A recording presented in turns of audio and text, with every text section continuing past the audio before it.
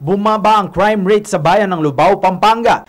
Ito ang idineklara ng kapulisan sa pangunguna ng hepe ng Lubao Police na si Superintendent Monico Cadayona sa isang pagtitipon ng mga opisyal ng munisipalidad sa Peace and Order Council meeting na ginanap kamakailan.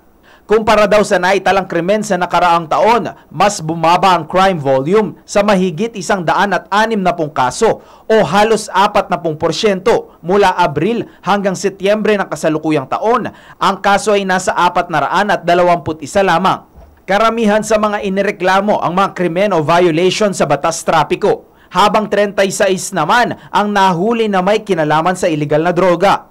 Ayon kay Kadayona, sa kabuuan daw ay masasabing mapayapa ang bayan ng Lubao.